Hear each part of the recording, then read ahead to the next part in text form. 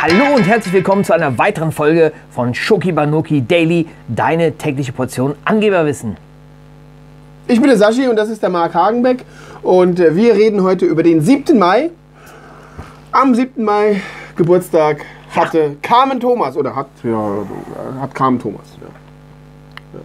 Und Carmen Thomas kennst du? Ja, das war eine deutsche Sportjournalistin, soweit ich Ja, das weiß. guck mal hier, da und ist zwar war das die erste, warte mal, jetzt gleich. Und zwar war das ja die erste Frau, die in der Sportschau moderiert hat, ne? Und was hat sie gesagt? Was, was ist ihr bekanntester Satz? Schönen guten Abend. Nee, nicht schönen guten Abend. Sie hat irgendwie was erzählt von Schalke 05. Das war die. Ach so, Genau. Schalke 05 gegen FC Lüttich oder irgendwas. hat sie was Schlimmes gesagt. gesagt über Schalke 05 oder was? Also ich- Nein? Der hat ja überhaupt keine Ahnung, merke ich gerade. Ich hab. Ich.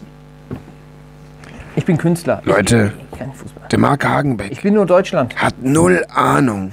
Egal. Ja, äh, äh, Schalke 05 ist äh, komplett falsch. Das weiß jeder Fußballfan, weil es heißt Schalke 04. Ach, meine ich doch. Habe Ja. ich nur 5 gesagt?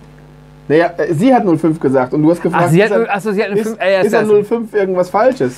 Ja, das ist nämlich. Ah, ja, äh, Ja, mea culpa. Ja, ja, genau. Und äh, am 7. Mai 1995 wird in Frankreich Jacques Chirac äh, äh, Präsident der Republik. Ja, also wird gewählt. Genau, das ist Jacques Chirac. Jacques Ja. Chirac, sagt man ja auch. Jacques Chirac, ja. ja, genau. Und was war noch am 7. Mai? Am 7. Mai 1919 ist Evita Perron gestorben.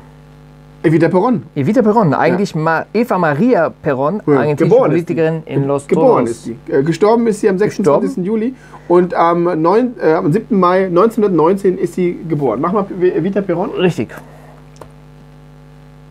Da ist er. da ist er. Genau. Genau.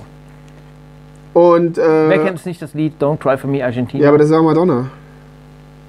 aber es ging um Evita Perron.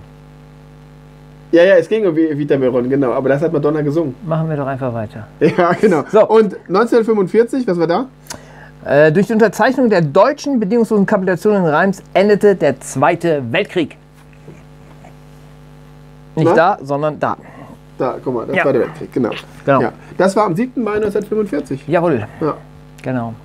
Das war äh, die heutige Sendung Daily, deine Tagesdosis Angeberwissen. Mit dem Angeberwissen, also hier, was am 7. Mai alles passiert ist, könnt ihr jetzt rausgehen und könnt ein bisschen angeben. Äh, morgen mal. sehen wir uns wieder am Ja. 8. Mai. Am 8. Mai. Macht's gut, bis dahin. Cheerio, Sophie. Tschüssikowski.